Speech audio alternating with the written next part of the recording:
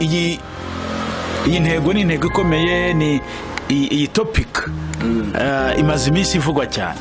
Kubera ko ribuze ubwenge ni uguhera ku batambyi birumvikana. Kandi ngo kuko ko wabuze ubwenge ngo ngiye ngo ngiye kukureka. Of course iyo umutambyi yabuze ubwenge akarimbuka ubwo abayoboye bo bose eh, barimbuka kuko kabiri ariko hari ikintu wavuze utangira none twongeye kugarukaho. Kandi uzarebe nubwo umuntu yaba yarize amashuri angana ate akijijwe ikizamukubwira ni uguca bugufi. Bakunzi ba my generation for jesus turabasuhuza mu izina rya yesu. Ah, tugiye kuganira ku kintu kimaze iminsi kivugwa mu rwanda cyanatambutseho leta yashyizeho itegeko ry'uko umuntu uyoboye abayobozi mu matorero runaka bagomba kugira icyiciro cyo kwiga ah, iyobokamana. Hamwe n'ibyo rero ah, twarebye umuntu mu by'ukuri. Twizeyeho ubwo bushobozi kugira ngo abidufasheho kuko havugwa byinshi. Hari ah, no kugira ngo iki kiganiro in fact kizemo hari umuntu ejo bundi narimo ngendana nawe arangije arambaza ateze ati ko abigishwa ba yesu ba bagiye bakabwiriza ubutumwa bakigisha batagiye mu ishuri kubera iki leta namwe muvuga ngo abantu bagomba kwiga? Umuntu agomba kwiga kugira ngo avuge ubutumwa. Iyo niyo nsanganyamatsiko uyu munsi dufite. Tugiye kwifashisha igitabo cy'umuhanuzi hoseya. Igice ni icya kane igice ni icya kane umurongo ni uwa gatandatu. Igice cya kane umurongo wa gatandatu hoseya ngo ubwoko bwanjye burimbuwe buzize kutagira ubwenge. Hano mu cyongereza ah, kane gatandatu yaravuze ngo my people are destroyed from lack of knowledge. From lack of knowledge. Hepfo haravuga ngo because you have rejected knowledge i also reject you as my priest. So um, hano twumvise ko ntabwo bakoresha wisdom ubwenge busanzwe barimo barakoresha knowledge. Ah, hari umuhanga umwe wavuze ngo knowledge is acquired. Bivuga ngo nyine ikijyanye n'ubu bumenyi abantu biga ni ubumenyi ah, abantu nyine biga ba- bakura ku bandi. Ah, dufite umutumirwa rero yumvise icyerekezo dufitemo ikiganiro karibu sana muraho neza. Ya muraho reverend cedric ndagira ngo mbanze mbashimire ariko nshimire n'imana yashoboje ah, abana bayo urubyiruko rwacu ariko nawe cyane cyane kugira ngo mushyireho iyi minisitiri imana ishimwe cyane. Turabashimiye rero kandi tubashimiye no ku bw'iki kiganiro kuko iyi iyi ntego ni intego ikomeye ni iyi iyi topic. Eh, imaze iminsi ivugwa cyane. Ariko mbere ko ngira icyo nsubiza ndagira ngo mbanze nibwira yenda batwumva ko bose bashobora kuba batanzi. Ya yes ndi reverend professor viaten ndikumana. Kuko ndi umwarimu wa teoloji kuva muri bibiri na karindwi. Ah, ubwo nabonaga phd muri theology. Nyuma nabaye umuyobozi wungirije ushinzwe amasomo muri eh, mu ishuri rikuru rya protestant pias ubu rero noneho ndi umuyobozi mukuru wa w'iyi university yacu y'abangirikani turimo dutangira. Cyangwa se reka nivuge ishuri rikuru ry'abangirikani turimo dutangira. Riri hano i kabuga. yego hano i masaka. Eh, Ah, bo iryo shuri ni ishuri rigitangira ariko ryatangiye urebye riratangira nk'ishuri ryemewe. Riri accredited ariko ubundi ryatangiye muri bibiri na kabiri ari KTC ngira ngo abantu benshi bamaze kuri ah, niho- ni bwo igitekerezo cyaje bibiri na gatandatu riratangira ubu twari tumaze kugira abapasitoro benshi basohotse muri iri shuri barimo bakora umurimo. Ubu rero noneho ah, turimo turashyiramo andi mashami ibijyanye na education amashami ajyanye na business amashami ajyanye na nursing na midwifery. Ah, ububyaza n'ubuforomo n'andi mashami agiye kuza.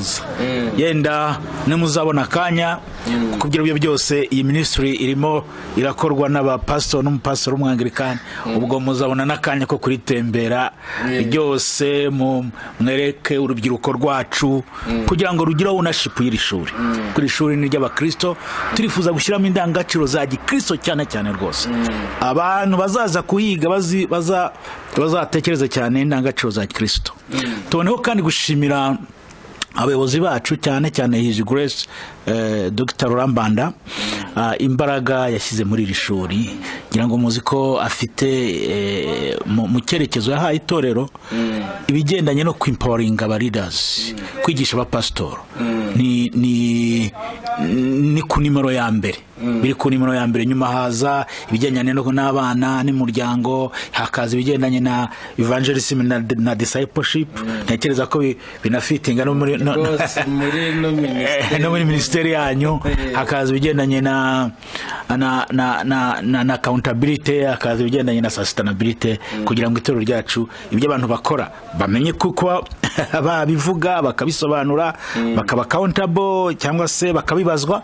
Eh, ariko nanone itorero rikagira imbaraga rikagira kwishakamwo ubushobozi rikagira umutungo ku buryo mu gihe kiri imbere tuzaba tu tu- dufite itorero rihagaze neza kandi ubu ngubu abangirikani duhagaze neza ngira ngo abantu bose barabibona.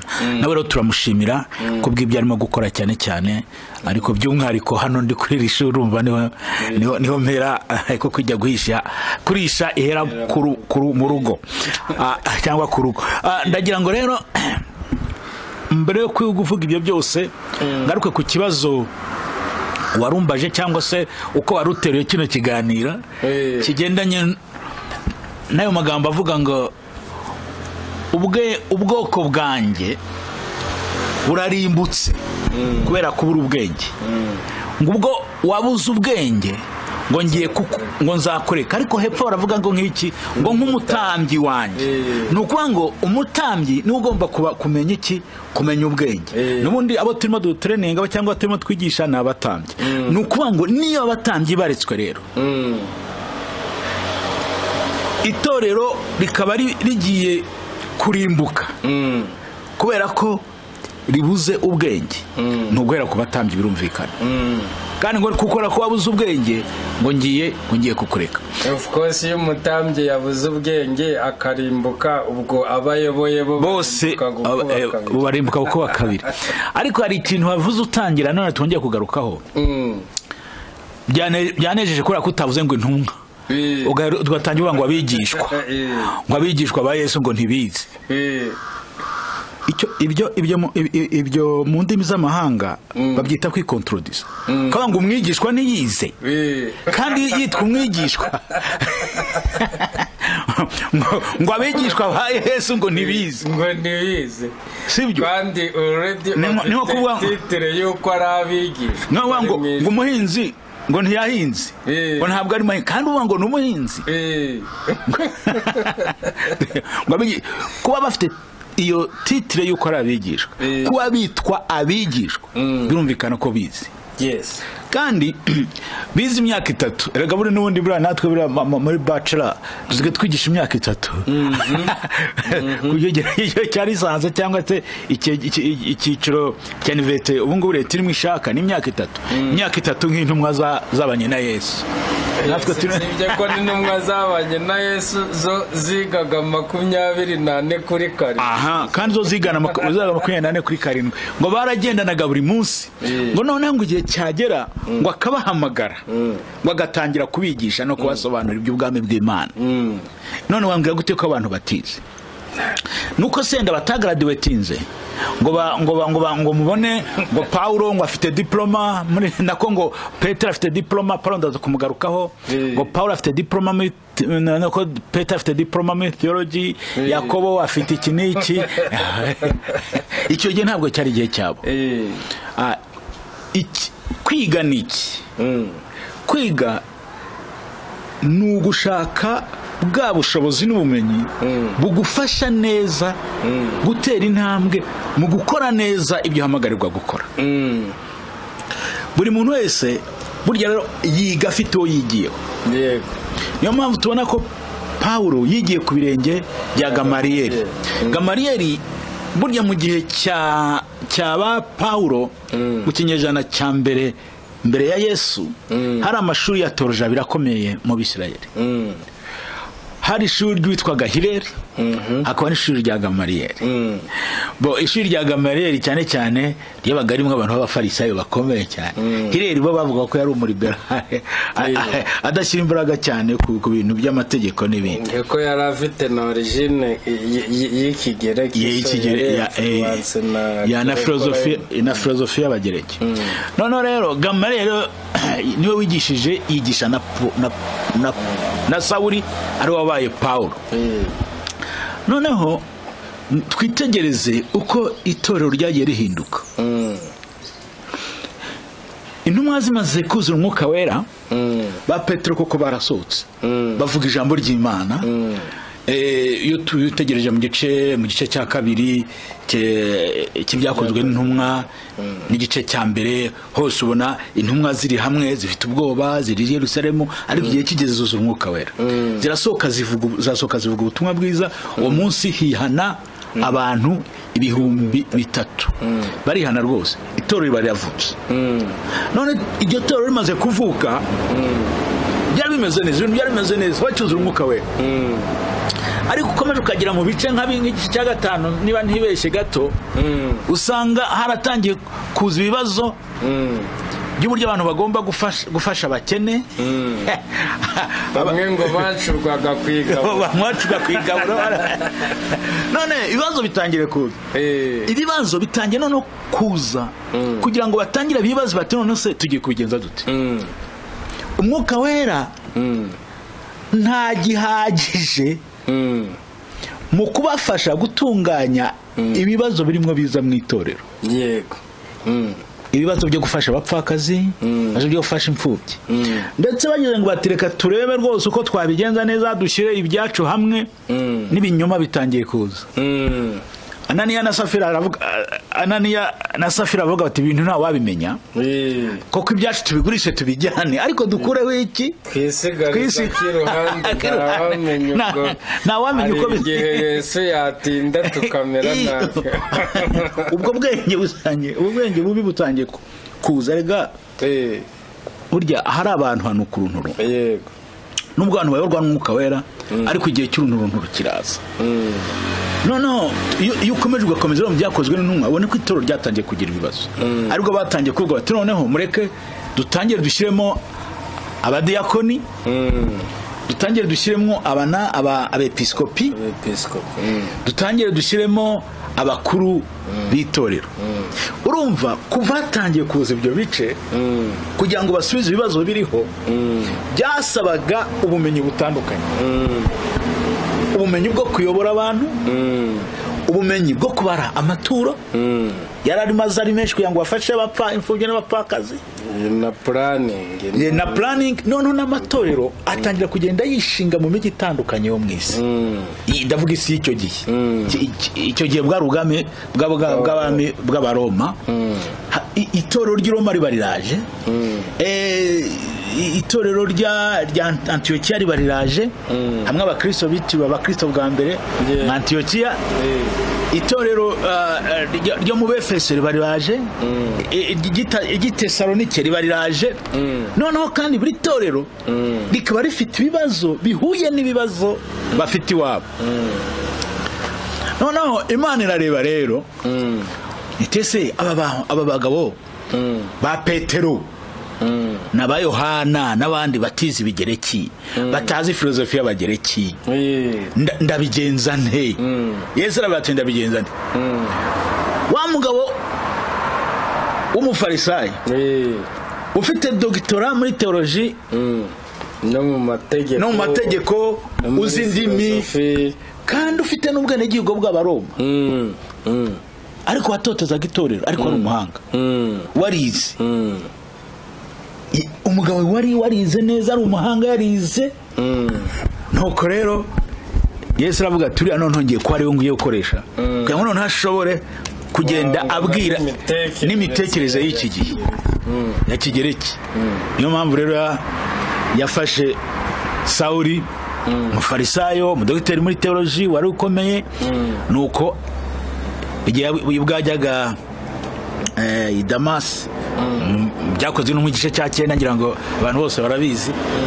Yesu ahita amufata aramuhindura amwuzuza umwuka wera noneho bwa bwenge ku ruhande n'umwuka wera ku rundi ruhande. Yesu abivangira muri muri pawulo hanyuma aramuhagarika amugira igikoresho gikomeye. Porofesa ahari hari ikintu turi bugire akanya ko gutindaho kubera ko urebye ni cyo abantu bashingiraho. Ese ah, tumaze of course umaze kutubwira mu ncamake ukuntu intumwa zize. Ni uwuhe muco wo kwiga wa kiriya gihe ese hariho za kaminuza abantu bajyagamo kuko urumva ni cyo kibazo abantu bafite? Kuko abantu bagomba kujya muri kaminuza?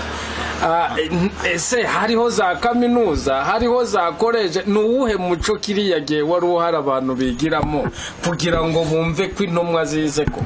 Ah, ndagira ngo murakoze cyane.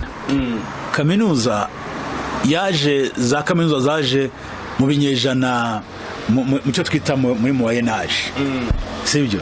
Ntabwo kaminuza zabayeho kera nk'uko tuzi- tuzifite ubu ngubu. Kandi n'ubu ngubu murebe erega na kaminuza zishobora kuzahinduka. Muzare muri iki gihe cya covid ukuntu abantu biga. N'ubu- n'uburyo twari dusanzwe twiga bushobora kuzahinduka mu gihe kiri imbere. Ariko reka ngaruke ku gice eh, ku kibazo warumbajije ubundi kuva isi yatangira kwiga byaheraga mu miryango. Umubyeyi akaba ari wigisha abana indangagaciro. Ah, mu gihugu cyacu ho twagiraga eh, twagiraga umuryango twava mu muryango tukagira n'itorero. Sibyo? Aba- aba- abana bakagenda barerwa mu ndangagaciro z'umuco wabo. Bagakura gutyo kugeza igihe bashoboye kuba abagabo bitunze cyangwa se abagore nabo bitunze. Noneho rero uko igihe cyagiye kigenda ah, yenda turaza ku- kugera mu muco w'abayuda naho nuko byatangiye. Noneho kubera ko wabaga ari umu ah, umuherezabitambo cyangwa se umupasitori reka tube w'icyo gihe. Eh, umu ariya ngo mu kinyarwanda tumwita ngo ipurisiti Eh, uwo nguwo akenshi iyo abana bavuga mu, miryango bajyaga kwiga bakajya mu isinagogi. Sibyo? bagahura n'umutambyi. Akabigisha. Akabigisha amategeko y'imana. Nka kuriya mu ba mu ah, mu bayisilamu bo biga korowani uko abana biga korowani niko burya no mu bayuda byagendaga. Burya yesu afite imyaka cumi n'ibiri. Ababyeyi be ngo bamusanze hehe bamusanze. Ye ngo bamusanga asigarayo burya yari asigaye yiga rero. Ku myaka cumi n'ibiri babaha bakoraga ibyo bita bari mitsiva bakavuga ngo ni ni umuhungu w'amategeko. None icyo gihe ni bwo yashoboraga gutangira gusoma mu isinagogi. Sibyo? Abana b'abahungu. Nuko bigaga inshuro nyinshi kandi higaga abahungu cyane cyane. Nuko rero abantu bigaga bigiraga bashaka kwigira mu ngo iwabo bashaka no kwinjira no kwigira mu nsengero.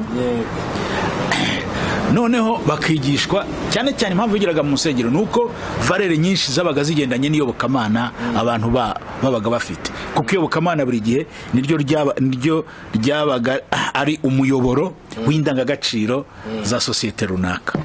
Mu iyobokamana ryabo. Hanyuma rero uko ibihe byagiye biza abantu bagiye batangira reka dore nko mu bagereki. Aho umuntu akaba ni umuhanga. Akaba ni umuhanga agatangira akaganirira abantu yicaye munsi y'igiti. Noneho abantu bagahita baza bakamwumva. Bakamwumva. Noneho bakitoramo niko burya iniverisite yatangiye. Abantu batangiye ari uko ba- b'abahanga.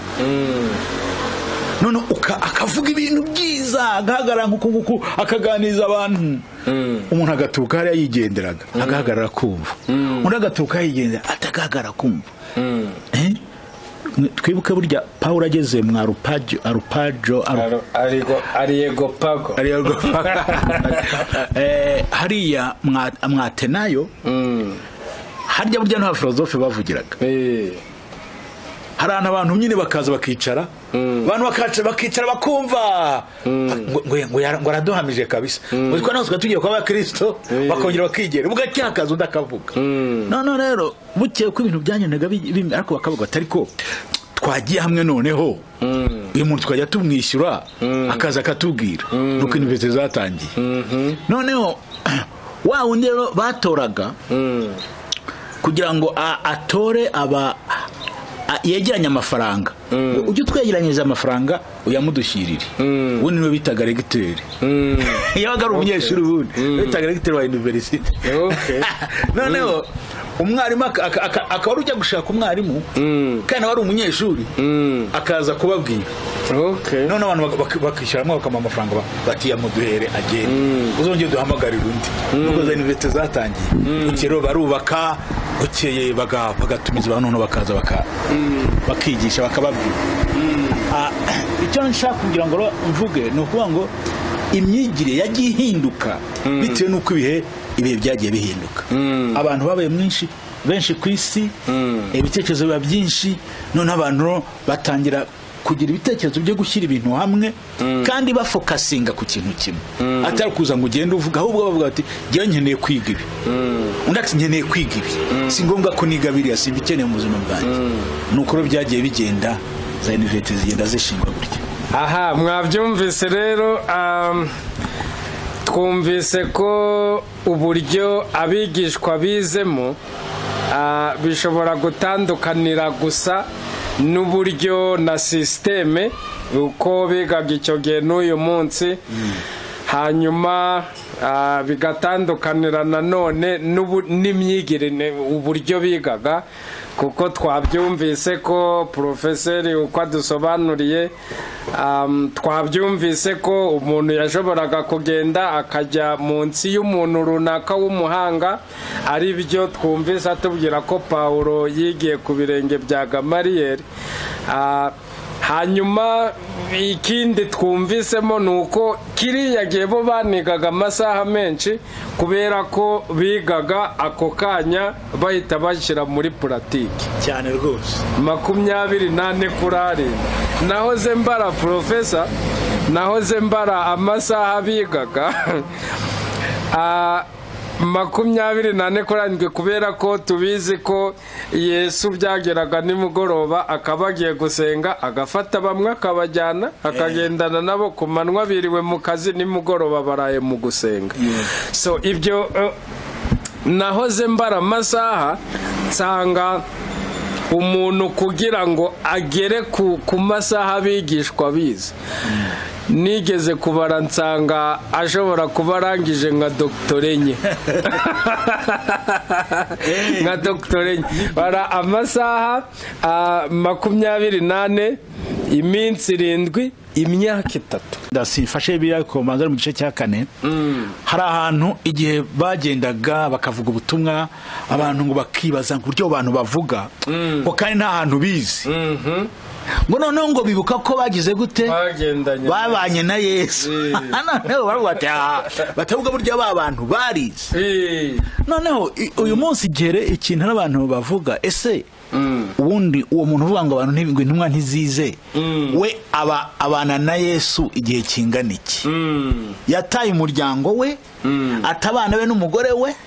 Ku buryo uyu munsi abana na yesu nk'amasa- nk'amasaha intumwa zabanaga nawe. Mm, mm. ikindi ntabwo kwiga kwiga gusa ntabwo twiga kubwiriza gusa. Muri iki iki gihe iyo aho isi igeze si ukubwiriza gusa. Dufite ibibazo by'abantu bafite eh, ihungabana. Dufite ibibazo bya leadership. Dufite ibibazo byo kugira ngo wenda tunasobanurire na bibiliya tuyishyire mu kinyarwanda. Cy'uyu munsi kigezweho dufite ibibazo ah, ibi bya environmental uh, uh, Crisis. crisis climate change n'ibindi. Ibi ngibi rero icyo gihe izo ntumwa ntabyo bari bafite. Mm. igihe cyabo ntabyo bari bafite. Twe turabifite uyu munsi kandi tugomba guhangana na byo. Mm. uyu munsi umupasiteri arakenera aragomba gukoresha kompiyuta Mm. Aragomba gukoresha smartphone. Mm. ibaze rero umuntu muri iki gihe utazi gukoresha kompiyuta Mm. kuko muzarebe hano ku ishuri ryacu Mm.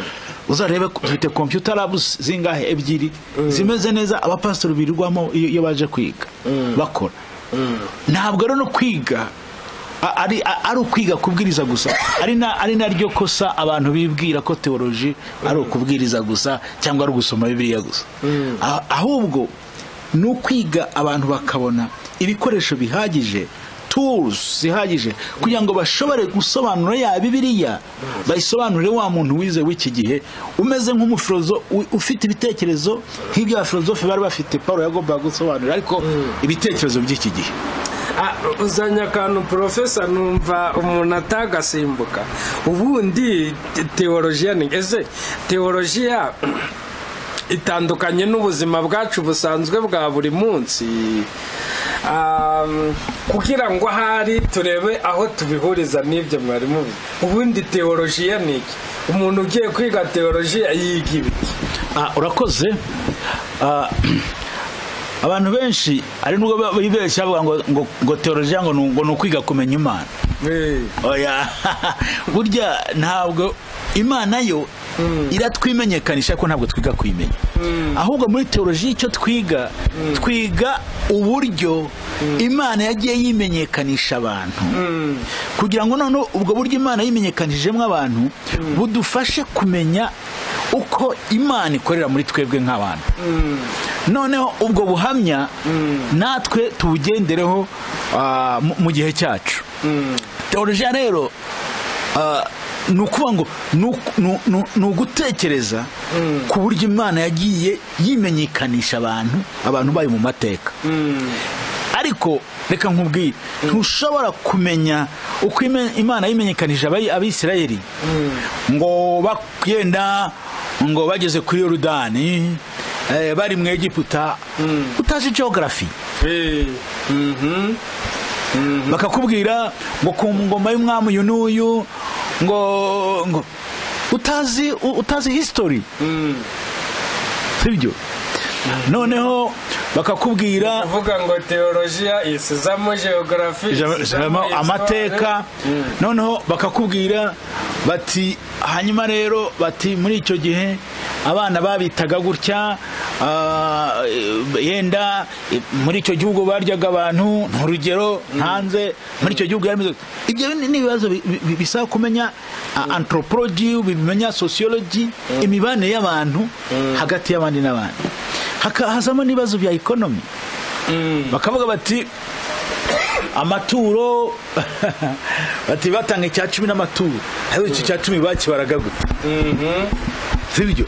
Kandi no mu ntumwa za yesu harimo umukontabure Ha- harimo umukontabure w'igihanga w'igihangange. yari aziwe no gukuramo rimwe agashyiramo rimwe agakuramo agakora Eh, yuda yabikaga ni ukuvuga ngo abantu bakeneye kumenya izo nosiyo za kontabilite za ekonomi Mm, ntabwo rero teoloji n'ibyo byose rero bigamo. Mm, ikindi nk'ubu ngubu uzasanga nk'amazina. Muri bibiliya. Burya izina ryose ryo muri bibiliya riba rifite icyo risobanura. Ayo mazina byinshi kugira ngo umenye icyo ayo mazina asobanura neza ni uko byibura uzi igihe burayo. Mm. ururimi rwanditswe ugiye mu by'indimi. Ukaba ugiye mu by'indimi. Sibyo ikigereki ukaba- uka- ukaba ugiye mu by'indimi. Hanyuma rero urumva noneho muri iyi minsi rero dore ubu murimo murabwiriza ubutumwa bwiza. Ndabona wazanye ibyuma byinshi. No muri iki gihe umupasiteri akeneye tekinoloji sibyo ni ukuvuga ngo ibyo twigisha ibyo byose navuze. Biri mu bimwe mu byo twigisha rero. Ni ukuvuga ngo turigisha none ariko ikiri hagati rero ikiri hagati ya byose byo ni bibiliya rero. Kuko dukora byose tubikora kugira ngo umuntu umwana w'imana ashobore gusoma iki gitabo. Abantu bamwe kuvuga ngo rega biriya ni inyanja. Kubera iki? Kubera ko hari aho uzasoma ugasanga bitandukanye n'ibyo wasomye ahandi. Iyo utize rero gusesengura bibiliya ngo umenye amateka ya bibiliya umenye igihe yandikiwe n'uwanditse ibyo n'impamvu yabyanditse uracanganyikirwa. Hanyuma umu- umu- umuntu ushaka kugusenya. Akazana wa murongo agahita azana na wa wundi bitandukanye agahita akubwira ati ubuse ntimwasaze ati ubwo muri mu biki? Ibi bintu rero birazana ikibazo ahari twegera ku musozo kuko um, nyirizina umuntu wambajije iki kibazo nibaza ngo ari kumva iby'ingenzi yari akeneyemo kuko ikibazo yari afite ni ese abigishwa ba yesu? Ko mutubwira ngo abantu bajye mu mashuri bajye kwiga teolojiya barize. Twumvise ko mu by'ukuri bize ndetse biga ah, n'amasaha menshi Eh, bigishwa na Yesu. kuko bamwitaga ngo ngo ngo ngo eh, rabi Rabbi. Mm. rabayi mwigisha cyangwa se metre Eh. sibyo metre kandi we ni nawe waremye ubwenge bwose a- abandi bigira ku bantu bafite limite ariko bo amasaha yose bayamaranye na nyir'ubwenge na nyir'ubwenge bwose Eh. so um, icyo profesa atubwiye muri make ni uko ababigishwa ahubwo bize mu buryo buremeye ariko wenda tutarasoza umbabarire tutarasoza mvuge kino kintu. Ah, nkunze kubwira abanyeshuri cyane cyane abapasiteri. Nkunze kubabwira ubwoko bubiri bw'abapasiteri. Uwo nitwa pasiteri petero n'uwo nita pasiteri paul. Okay. Mm. pasiteri petero ni umupasiteri wuze umwuka wera. Akaba azi kubwiriza ariko akaba atashobora kuva aho iwabo i yerusalemu ku musozi w'iwabo avugaho ikinyarwanda ngo agere i kampala avuge. Kandi kubera ko ameze gutyo yumva ko ibyo iwabo ari byo gusa. Ari byo byiza. Niyo mpamvu ubona petero uburyo bwabo ngo abanyamahanga ntibakebwe ngo abanyamahanga ntibagire guta no, akaguma mu Imitekerereze imitekerereze y'iwabo iracyari yo ku musozi wabo. Sibyo yabona uvuye muri amerika ati toka yambaye ipantaro toka satani. yabona yabona iki ngiki? Nk'uko petero yabigezaga ku banyamahanga. Sibyo rero uwo mupasitori rero nta hantu yageze itorero. Mm. wa wundi utava ngo hariya ngo aze kubwiriza i kigali. Mm. hari nanone na pasitori paul rero. Mm. uyu pasiteri paul yize kwa gamariyeri ariko reka mvuge reka mbanze muhe sawuri noneho. Nite sawuri pasiteri sawuri yize kwa gamariyeri ibyo byose arabizi. Arashobora kujya hose akavuga ariko akavuga ibyo yize gusa. Uwuze umwuka wera agahonda mu mutwe. Uvuga iby'agakiza agahonda mu mutwe. Uvuga ibyo kwihana kwihana inzoga kwihana ubusinzi kwihana iki kwihana ubusambanyi agakubita mu mutwe. Eh. kubera iki? Kubera ko atarahura na yesu ngo amwuzuze umwuka. Mm. erega urebye nyine urebye n'ubwoko bwa pasitoro batatu hari pasiteri petero hari pasiteri sawuri none ugeze kuri pasiteri rero paul pasiteri paul ni wa wundi yize kwa gamariyeri icyongereza arakizi ikigereki arakizi igihebura arakize arayizi. Amategeko. Arayazi rwose arashobora kujya i kampala akavuga yajya bujumbura akavuga yaza i kigali akavuga. Sibyo? Yahura n'umunyamerika. Ntagire ikibazo. Yahura ariko nanone hari ikindi yafatiwe yafatiwe mu nzira ijya i Da- i damasiko mu gihe yibwiraga ko hari icyo ari cyo mu gihe cyagera akiri sawuri agikubita agihondamo umwuka wera. Noneho yesu nawe amwuzuza umwuka wera amwujuje umwuka wera aragaruka rero. Aba wa, wundi wari sawuli wa- pasiteri sawuli ahindutse noneho pasiteri paul atangiye noneho kuvuga ubutumwa bwiza aranditse inyandiko arahuguye abantu avuze iby'umwuka wera itorero rirakuze. Rirakuze. Rigeze no mu mijyi ikomeye. Eh, rivuye a- ageze mu antiyokiya ageze mu atenayo arababwiye ageze i roma arababwiye. Erega ndetse na roma yatangiye gutinya. Yatangiye gutinya n'abanyaroma batangiye gutinya itorero. Eh. ati eh, eh, ati habuze gato wari unyemeje bati kandi mwitonde uriya muntu hariza afite n'ubwenegihugu bw'abaroma. Eh. Eh, noneho itorero batangira kugira gute? Kuryubaha no kuriha agaciro. Dute- dukeneye rero pasiteri paul. Wize ariko nanone wuzuye umwuka wera. Imana ibaha umugisha. Mwakoze cyane rero Ah, nanjye aka kantu keza kangiye mu matwi pasiteri sawuri pasiteri paul na pasiteri petero. None se eh, mugani mbere y'uko dusoza hari ikibazo abantu bamwe bagarukaho. Um, cyitwa kwizera no kuba warize. Mu bihe byacu byo gukizwa hari inyigisho zari ah, zikomeye. Ahari urwandiko rwa mbere paul yandikiye itorero ry'ikorino igice cya gatatu nyine avuga ye- ye- yewe no mu gice cya mbere yabigarutsemo ashaka kuvuga ah, uburyo ah, abantu batahamagaye kubera ko bazi ubwenge kubera ko imana yahamagaye abantu batazi ubwenge kugira ngo ikoze isoni abiyita abanyabwenge.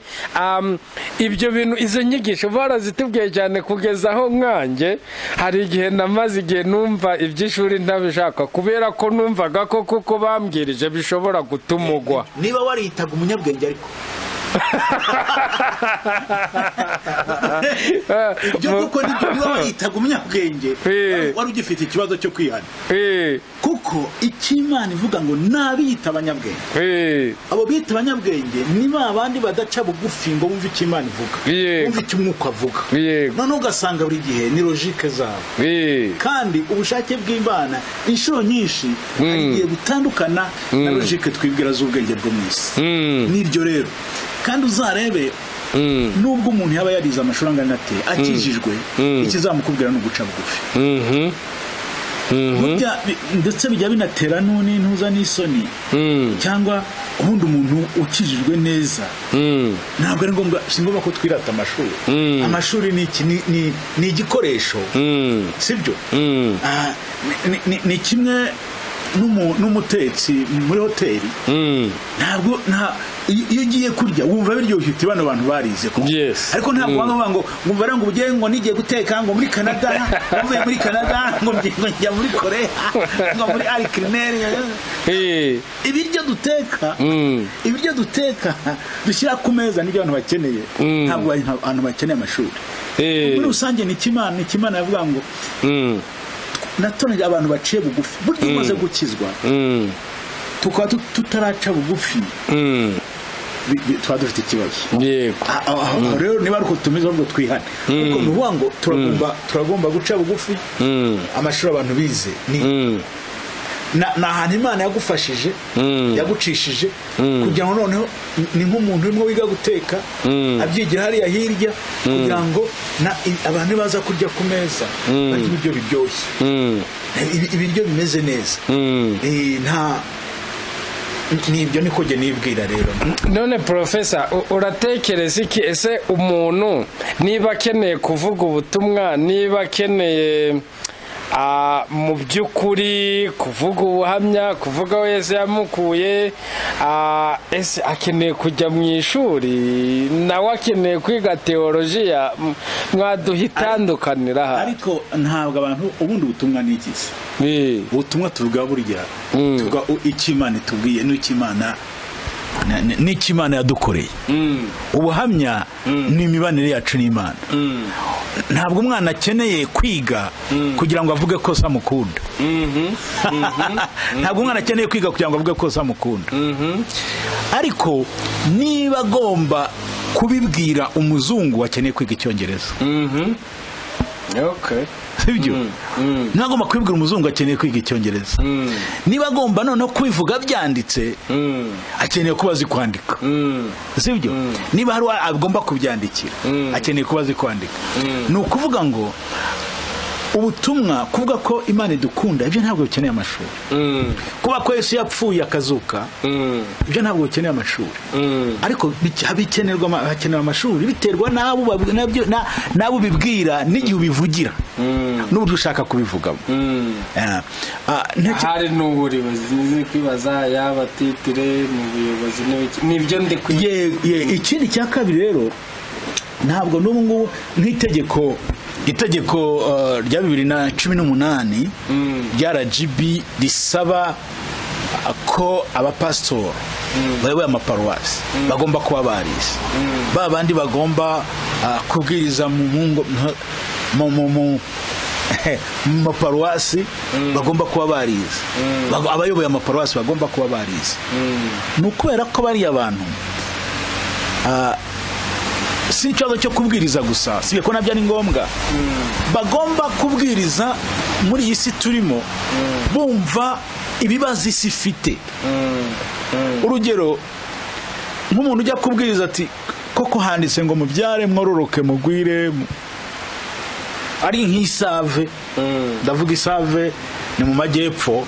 Ahantu hatuwe cyane. Ku buryo ubu ngubu nta rugo wasanga rufite byibura ari imwe cyangwa ari ebyiri z'ubutaka. None ukagumya kubwira abantu nk'abo ngo ngo mugume mubyare mwuzuye isi kandi aho batuye barahuzuye. Isi yabo ni iyihe? Aho ngaho batuye barahuze ahubwo abana barirwa biba? Urasanga abana bose ba- ba- ba- bafite ba- barwaye imbaraga abandi barwaye amavunja abandi barwaye. Umuntu umwe mm, reka mbivugeho kuko ni ingenzi kuri jyewe. Umuntu umwe twaraganiriye w'umupasitoro wari ufite abana bagera muri barindwi. Noneho ndamubaza yari umudamu. Bari baje mu mahugurwa mu mahugurwa tujya dukoresha mu bintu bitandukanye. Noneho tujya kuri icyo kibazo cyo kuringaniza urubyaro. Umudamu aravuga ati ye rwose ndashima imana. Nuko ngiye kuba nk'uko avuga abantu mvuze nk'uko yavuga abantu bakumva nk'uko yavugaga. Abantu bamukeka ariko ariko yaravu- yaravuze ati ndashima imana. Ati imana yaduhaye abana barindwi. Eh, barindwi? Ubu se mu- muri iki gihe murabarira gute? Bariga. Ati ye bariga. Ati bane. Imana badushyire muri kompasiyo urumva? Nabwo harya mwebwe ntimuri pasiteri pasiteri kompasiyo si ko ari abakeneye ko ari batindinya kujya reka mvuge gutyo. Mumva ariko bwankoresha iryo jambo. Ariko ni ubundi burya ni ugufasha abana ba ntaho nikora. Noneho wumve ko pasitori yamanutse agashyiramo abana bane yabaye ni- ntaho nikora inshuro enye cyarengereye pe kandi ngo arashima imana ngo ni imana yabiye. Ya- ya- kandi hari abandi yacu. Hari abandi bana bagomba kuba bari mu- mu- muri- uwo ah, muri uwo mushinga. uwo mushinga. Ariko wibaze n'umuterankunga uri mu rwanda ngira ngo urazi wabaye hariya hanze ku buryo ariya mafaranga aboneka. Eh, yenda rimwe ara- aratema ibyatsi yenda cyangwa se ar- aroza amatoilette kugira ngo abone amafaranga yohereza wa mwana. None akumva abana bane ba pasitori nabo barimo barihirwa urabyumva? U- u- twiga rero kugira ngo tugire imiti. Gut- dutekereze birenze ibyo ngibyo. Ngo, tubyare twuzure isi. Iyo si ntitunanayumva aho iva n'aho igera. Ntabwo tubona ibibazo isi ifite kubera iki ikora ko mu mutwe tutajijutse bihagije. Aha mwakoze rero. Mwakoze ah, kwakira ubu butumire bwacu kuko ibi bintu byari ingenzi kandi n'abadukurikiye turabizi ngo hari icyo bungutse kidasanzwe. Ah, tuzakomeza tuzakomeza ibi biganiro tujye tubivugaho kuko ah, zimwe mu ndangagaciro dufite hano ni uko dushaka ko abantu gufasha abantu kwizera banatekereza ariko kandi n'abatekereza ko batekereza cyane tukabafasha kwizera ah, dukoresheje za mbaraga imana itanga. Mwakoze rero imana ibaha umugisha porofesa ya imana ibahe umugisha bene data bakundwa abadukurikiye turabakunda kandi mujijuke mumenye aho isi igeze ariko ikiruta byose nanone mwuzure umwuka wera. Yesu ashimwe. Amen. Mwarangiza mu- mudusengera se mudusoreze mudusengera. Ah, nimureke dusenga imana. Turagushimye imana yacu. Tugushimiye urukundo rwawe rwinshi. Tugushimiye ko waduha agakiza k'ubuntu muri yesu kirisito akatubera umwami kandi umucunguzi w'ubugingo bwacu. Ubu tukaba dufite ibyiringiro by'uko turi muri iyi si turi abagenzi turi abaragwa b'ijuru ko igihe nikigera tuzabana nawe mwami mu bwami bwawe butazashira. Gushimiye bene data bashyizeho iyi minisiteri ubahe umugisha kandi ndagusenga mwami kugira ngo ufashe n'abadukurikiye bose. Ufite ikibazo ugisubize. Uhaze buri kwifuza kwa buri wese ariko ikirutaho amazina yacu twese yandikwe mu gitabo cy'ubugingo. Gumya kudufasha cyane cyane muri ibi bihe igihugu cyacu gihanganye n'iki cyorezo cya korona vayirasi kugira ngo mwami imana uduhe ubuzima buzira umuze kandi rwose uduhe ibyiringiro bituruka kuri wowe maze twumve dufite intsinzi muri yesu kirisito icyubaro n'ikibi cyawe uhereye none ukageza iteka ryose. Amen.